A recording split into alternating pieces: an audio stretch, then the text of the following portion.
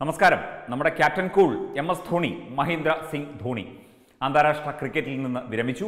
ഒരുപാട് പേർ വിഷമത്തോടെയും ഒരുപാട് പേർ അദ്ദേഹത്തിന് അഭിനന്ദനങ്ങൾ അറിയിച്ചും അദ്ദേഹത്തിന്റെ തുടർന്നുള്ള ജീവിതം ക്രിക്കറ്റിന് വേണ്ടി തന്നെ ആകുമോ എന്നൊക്കെ ചോദിച്ചും അദ്ദേഹത്തിന്റെ ഷോട്ടുകൾ ഇനി നമുക്ക് കാണാൻ സാധിക്കില്ലല്ലോ എന്ന വേദന പങ്കുവച്ചുമൊക്കെ നിരവധി അനവധി പേർ പ്രശസ്തരായവരും അല്ലാത്തവരും ഒക്കെ തന്നെ ഇപ്പോൾ അദ്ദേഹത്തിന്റെ അദ്ദേഹത്തിന്റെ ആ പെർഫോമൻസ് ഇതുവരെ രാജ്യത്തിന് വേണ്ടി നടത്തിയ അദ്ദേഹത്തിന്റെ പെർഫോമൻസിനെ അഭിനന്ദിച്ചുകൊണ്ടും അദ്ദേഹത്തിന് സ്നേഹാന്വേഷണങ്ങൾ അറിയിച്ചുകൊണ്ടും അദ്ദേഹത്തിന് അഭിനന്ദനത്തിന്റെയും സ്നേഹത്തിന്റെയും പൂച്ചെണ്ടുകൾ ധാരാളമായി നൽകിക്കൊണ്ടുമൊക്കെ ഒരുപാട് പേർ സമൂഹ മാധ്യമങ്ങളിൽ ഇങ്ങനെ നിറഞ്ഞ് നിൽക്കുകയാണ്. അദ്ദേഹത്തിന്റെ വേൾഡ് കപ്പിലെ അവസാനത്തെ സിക്സർ ഷോട്ട് വീഡിയോ ആയി പലരും സ്റ്റേറ്റസ് ആക്കിയിരിക്കുന്നു. അങ്ങനെ പല കാര്യങ്ങളിലൂടെ എം എസ് ധോണി എന്ന ഒരു ക്രിക്കറ്ററെ സത്യം പറഞ്ഞു കഴിഞ്ഞാൽ സച്ചിൻ തെണ്ടുൽക്കറോട് ചേർത്ത് വെച്ചുകൊണ്ട് തന്നെയാണ് അദ്ദേഹത്തെ എല്ലാവരും ഉപമിക്കുന്നത്. അത്രയും കൂളായി നിന്നുകൊണ്ട് കളികൾ ജയിപ്പിച്ച വ്യക്തിയാണ് അദ്ദേഹം. തീർച്ചയായും അദ്ദേഹം എല്ലാവിധ അഭിനന്ദനങ്ങളും അർഹിക്കുന്നു. അദ്ദേഹത്തിന്റെ ശിഷ്ട ജീവിതം ഭാവി ജീവിതം തീർച്ചയായും സന്തോഷകരമായി അഭിമാനകരമായി തുടരാൻ സാധിക്കട്ടെ എന്ന്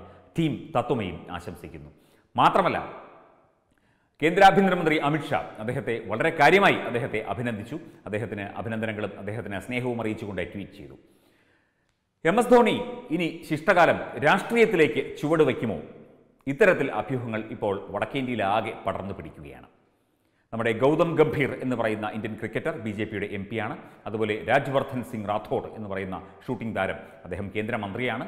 അങ്ങനെ ഭാരതീയ ജനതാ പാർട്ടിയിലേക്ക് ആദ്യത്തെ ചുവട് എം എസ് ധോണി വെച്ചു കഴിഞ്ഞു എന്ന രീതിയിലാണ് അഭ്യൂഹങ്ങൾ പരക്കുന്നത്. അമിത്ഷാ ഈ ഒരു കാര്യവുമായി ബന്ധപ്പെട്ട് അദ്ദേഹത്തെ ഫോണിൽ വിളിച്ച് സംസാരിച്ചു എന്നുകൂടി കേൾക്കുന്നുണ്ട്. നമുക്കതിന്റെ വിശദാംശങ്ങൾ നോക്കാം. ധോണിയുടെ നായകത്വത്തിൽ ഇന്ത്യ ഏകദിന ലോകകപ്പും ലോകകപ്പും ട്വന്റി ട്വന്റി ലോകകപ്പ് ജയിച്ചതൊക്കെ ചൂണ്ടിക്കാട്ടിക്കൊണ്ടായിരുന്നു അമിത്ഷാ എം എസ് ധോണിയെ അഭിനന്ദിച്ചത്. ഇന്ത്യൻ ക്രിക്കറ്റിന് എം എസ് ധോണി നൽകിയ വിലമതിക്കാനാകാത്ത സംഭാവനകൾക്ക് അദ്ദേഹത്തെ അഭിനന്ദിക്കുന്ന ലക്ഷക്കണക്കിന് ക്രിക്കറ്റ് ആരാധകർക്ക് ഒപ്പം താനും പങ്കുചേരുന്നതായിട്ടാണ് ശ്രീ അമിത്ഷാ ട്വിറ്ററിൽ തന്റെ അഭിനന്ദന കുറിപ്പിൽ അറിയിച്ചത്. അതുപോലെ അദ്ദേഹം ട്വന്റി ട്വന്റി ലോകകപ്പ് ജയിച്ചതൊക്കെ അദ്ദേഹം ഒരു പോരാളിയായിരുന്നു. അദ്ദേഹം രാജ്യത്തിന് വേണ്ടി പടനയിച്ചയാളാണ് ക്രിക്കറ്റ് ആണെങ്കിൽ കൂടി പടനയിച്ചയാളാണ് എന്ന തരത്തിലാണ് അമിത്ഷാ ഈ ട്വീറ്റ് ഇട്ടിരിക്കുന്നത്.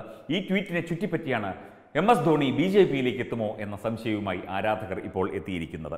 രണ്ടായിരത്തി പത്തൊൻപതിലെ ലോക്സഭാ തെരഞ്ഞെടുപ്പിന് മുൻപ് സമ്പർക്ക യജ്ഞത്തിന്റെ ഭാഗമായി അമിത്ഷാ ധോണിയെ സന്ദർശിച്ച് ചർച്ചകളൊക്കെ നടത്തിയിരുന്നു. വിരമിക്കലിന് ശേഷം ധോണി ബി ജെ പിയിൽ ചേരുമെന്ന് ജാർഖണ്ഡിലെ ബി ജെ പി നേതാവും മുൻ കേന്ദ്രമന്ത്രിയുമായ സഞ്ജയ് പാസ്വാൻ നേരത്തെ പറയുകയും ചെയ്തു. ധോണി തന്റെ സുഹൃത്താണ്. തീർച്ചയായും വിരമിക്കലിന് ശേഷം എം എസ് ധോണി ഭാരതീയ ജനതാ പാർട്ടിയുടെ കേന്ദ്ര സർക്കാരിന്റെ ഒക്കെ ഭാഗമാകും എന്ന രീതിയിൽ അദ്ദേഹം ഈ സഞ്ജയ് പാസ്വാനും അന്ന് ഈ രണ്ടായിരത്തി പത്തൊൻപത് ഇലക്ഷന്റെ സമയത്ത് പറഞ്ഞിരുന്നു. അത് ദേശീയ മാധ്യമങ്ങളൊക്കെ വാർത്ത നൽകിയതുമാണ്. ഏറെ നാളായി ചർച്ച നടക്കുകയാണ്. വിരമിക്കലിന് ശേഷം മാത്രമേ പാർട്ടി പ്രവേശനം ഉണ്ടാകൂ.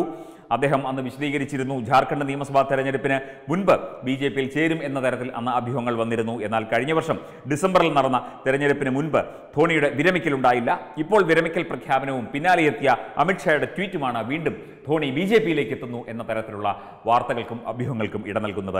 നിരവധി ബി ജെ പി നേതാക്കളുമായി അടുത്ത ബന്ധമാണ് എം എസ് ധോണി പുലർത്തുന്നത്. മുൻ ക്രിക്കറ്റ് താരം ഗൗതം ഗംഭീറിന്റെ കാര്യം നമ്മൾ നേരത്തെ പറഞ്ഞല്ലോ. ഗൗതവും ധോണിയും ഒക്കെ വളരെ അടുത്ത സുഹൃത്തുക്കളാണ്. ഒപ്പം തന്നെ ഒരുപാട് ബി ജെ പിയിലെ മുതിർന്ന നേതാക്കളുമായും റാം മാധവ് തുടങ്ങിയ ബി ജെ പി നേതാക്കളുമായും അതുപോലെ തന്നെ നിരവധി അനവധി അതുപോലെ ത്രിപുര മുഖ്യമന്ത്രി ബിപ്ലവ് ദേവ് കുമാർ അവരുമൊക്കെയായി അടുത്ത സൗഹൃദമാണ് എം എസ് ധോണി പുലർത്തിപ്പോരുന്നത്. മാത്രമല്ല ജാർഖണ്ഡിലെ ധോണിയുടെ സ്വദേശം റാഞ്ചിയാണ്.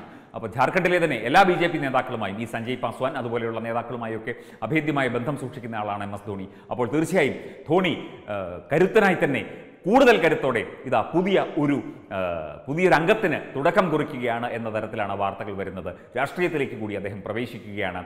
ഭാരതത്തിന്റെ ആ ഭാരത ഭാരതത്തിന്റെ ഭരണത്തിനും ഭാരതത്തിന്റെ അഖണ്ഡതയ്ക്കും കരുത്താകാൻ ഭാരതീയ ജനതാ പാർട്ടിയിലേക്ക് ഇതാ എം എസ് ധോണി എത്തുന്നു എന്ന രീതിയിലുള്ള പ്രചരണമൊക്കെ ഇപ്പോൾ സമൂഹ മാധ്യമങ്ങളിൽ വ്യാപകമായി നടന്നുകൊണ്ടിരിക്കുകയാണ്. എന്തൊക്കെയായാലും ശ്രീ എം എസ് ധോണി അങ്ങേക്ക് എല്ലാവിധ അഭിനന്ദനങ്ങളും നേരുന്നു ഭാവുകങ്ങളും നേരുന്നു. ഏതു വഴി തിരഞ്ഞെടുത്താലും പൊളിറ്റിക്സ് ആയാലും രാഷ്ട്രീയമായാലും ദേശസേവനമായാലും ഇനി സൈനിക സേവനമായാലും അല്ലെങ്കിൽ ഇനി ക്രിക്കറ്റുമായി ബന്ധപ്പെട്ട മറ്റ് ഏതെങ്കിലും സേവനമായാലും എന്ത് സേവനമായാലും തീർച്ചയായും താങ്കൾ രാജ്യത്തിന് വേണ്ടി സേവനം അനുഷ്ഠിക്കും അനുഷ്ഠിച്ചുകൊണ്ടിരിക്കുകയായിരുന്നു. ഇനിയും താങ്കളെ രാജ്യത്തിന് വേണം. അതേത് മേഖലയിലായാലും താങ്കളുടെ കരുത്ത് താങ്കളുടെ നിശ്ചയദാർഢ്യം താങ്കളുടെ മനസ്സ് താങ്കളുടെ സ്ഥൈര്യം താങ്കളുടെ ആ എല്ലാത്തിനെയും വളരെ കരുതലോടെ വളരെ സമചിത്തതയോടെ നേരിടുന്ന ആ മനസ്സ് തീർച്ചയായും ഭാരതത്തിലെ ഓരോ ജനങ്ങളും ലോകത്തെമ്പാടുമുള്ള ഭാരതീയരും ലോകത്തെമ്പാടുമുള്ള ക്രിക്കറ്റ് ആരാധകരും ഒക്കെ ഈ കാര്യങ്ങളൊക്കെ അവർക്കൊക്കെ അറിയാം. അവരൊക്കെ ഈ ഒരു അവസ്ഥയിൽ തീർച്ചയായും താങ്കളെ അഭിനന്ദിക്കുന്നു.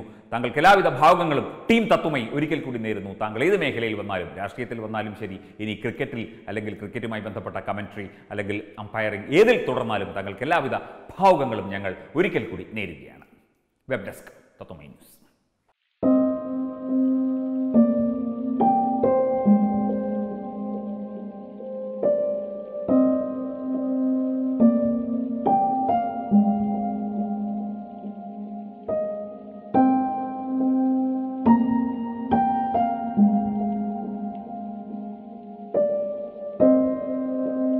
You